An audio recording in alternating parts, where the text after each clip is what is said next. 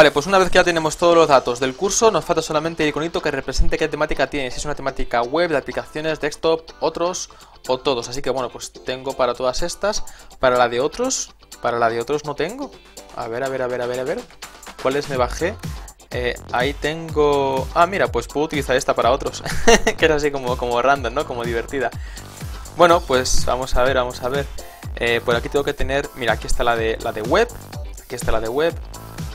Eh, tengo que tener por aquí la de Android e iOS, exacto, aquí está también Android e iOS.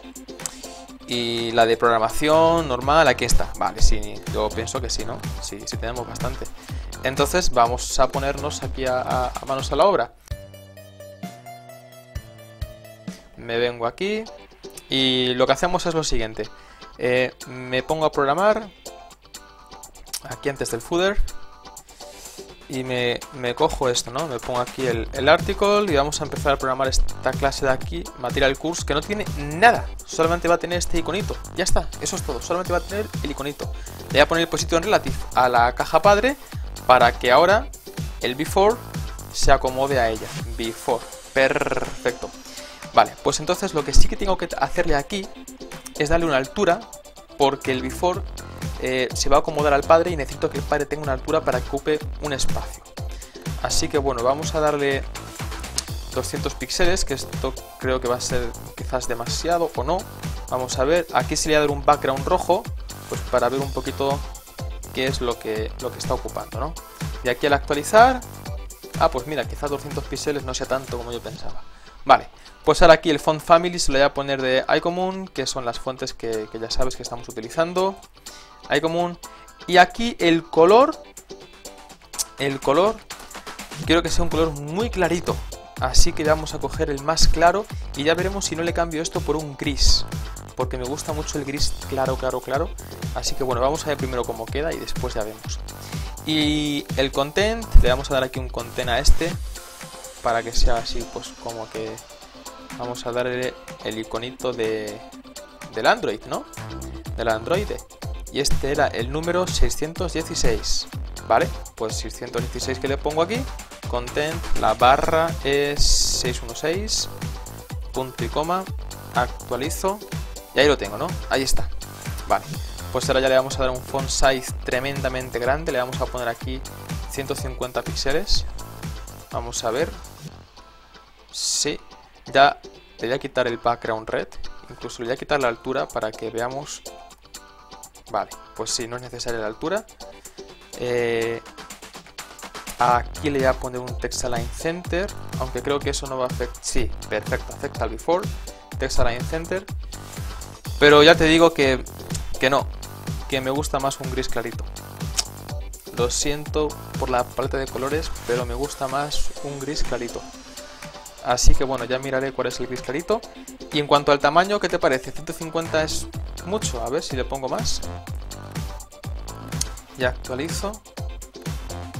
Eh, no, pero creo que está bien. 150 está bien. Vamos a ver un gris clarito que podría ponerle. Vengo aquí a esta página para ver online colores hexadecimales y le pongo algo así que no destaque nada. Es que quiero que sea súper suave. Quiero que sea súper suave. Entonces me vengo aquí y le voy a poner este color. Vamos a ver. Vamos a ver ahora, al actualizar. ¡Sí! Algo así yo quería. Algo así, quizás un poquito más fuerte. No sé si, no sé si un poquito más fuerte se podrá... A ver, a ver, a ver. A ver, a ver. Este es el más fuerte, ¿no? Este es el... El de 88 es este y este es el, el siguiente más fuerte que hay. Bueno, vamos a ver, vamos a ver el siguiente más fuerte. ¿Cómo queda? Actualizo. Bueno, sí, mejor este, ¿no? Se ve un poquito más claro. Vale, pues ya está. Entonces solamente ahora tenemos que cambiar todos estos backgrounds que teníamos puesto para las diferentes medidas, ¿no? Para ver qué estaba ocupando cada cosa. Le cambiamos los backgrounds y, y listo. Listo, y ya sería todo, ya solamente sería crearnos más diferentes cursos para tener, así que aquí, actualizo y ahora cuando vaya aumentando la pantalla, hey, sigue estando el background aquí. Vamos a ver, vamos a ver. ¿Dónde se ha metido aquí el background? Font size. Esto es 480, así que ya no hay más, no hay más backgrounds posibles. Sin embargo, eh, claro, por supuesto, tenía que actualizarlo. Vale, pues ya está todo, ¿no? O sea, esto está así. Y cuando yo esto lo voy aumentando, ahí se acomoda. Perfecto. Se acomoda. Y ahí se sigue acomodando. Está genial. A mí me encanta, ¿eh? Le voy a dar, le voy a dar un margen arriba para que no se quede tan, tan, tan, tan alto el muñequito. Así que eh, vamos a ver dónde era esto. Aquí. El position era relative. Así que le voy a poner un top de, de, de, 50 píxeles. Y al actualizar, ahí se me baja. Esto será un problema en versiones más pequeñas. Vamos a ver cómo se comporta. Está aquí. Sí. Sí es un problema porque se sale. Entonces más que un top, hay que ponerle un margin top. Así ya no hay problema porque respeta su espacio. Bueno, a mí la verdad es que me gusta mucho cómo, cómo, está quedando esto, ¿eh? Me gusta cómo está quedando esto.